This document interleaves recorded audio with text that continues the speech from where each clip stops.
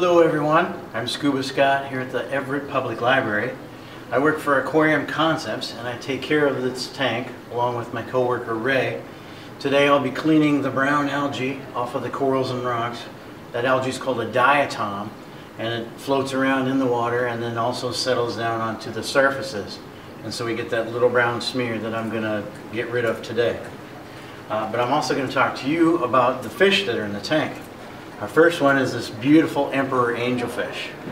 Um, she's a very expensive fish, um, but, so we make sure that she gets a lot of seaweed in her diet.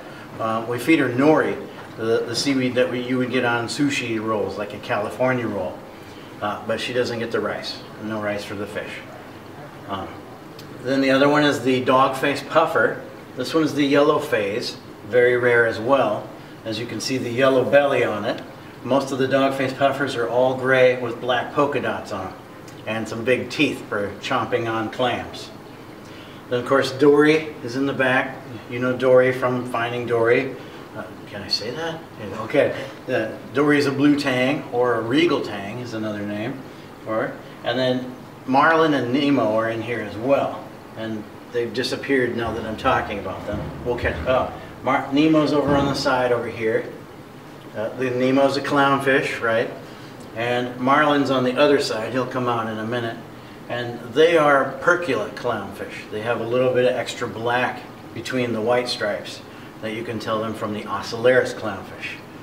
Um, the gray and silver and black striped fish in the upper center there is called a Banggai cardinal fish or highfin cardinal. And they're very exciting because they only came originally from the Banggai Islands of Indonesia. And also what's exciting about them is that the, the male, the father, holds the eggs in his mouth for up to a month while they wait to hatch. And he'll roll them around in his mouth like that so that the eggs rotate and can get enough oxygen so once they hatch. He'll keep the babies in his mouth once they hatch until they're all ready to go out and swim on their own and hide away from predators.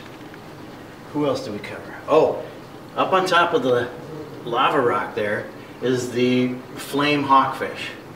It looks similar to the plant here, but the, the hawkfish is called a hawkfish because they perch up on top of rocks like a hawk would perch on a telephone wire. And when they see food, they swoop down and grab it, eat it real quick, and then they go back to their perch.